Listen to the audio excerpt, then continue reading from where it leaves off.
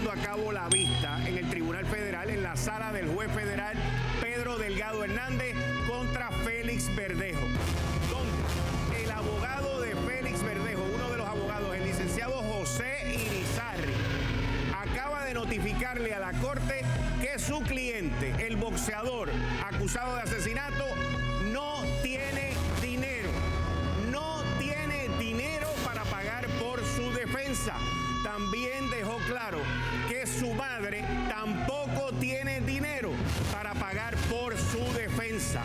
El abogado licenciado José Irizarri le explicó al juez que él tenía el conocimiento, el peritaje para manejar el caso y que él iba a ver lo que podía hacer con esta situación. El juez Pedro Delgado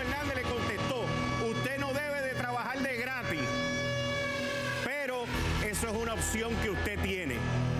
El abogado José Irizarri de Félix Verdejo indicó que Félix Verdejo para este caso necesita una serie de peritos y de recursos externos a los cuales él no tiene hoy el dinero para pagarlo. No te despegues porque esta vista continúa y nosotros te vamos a continuar trayendo la información derechito desde el Tribunal Federal en La Chaldón, la sala del juez federal Pedro Delgado Hernández.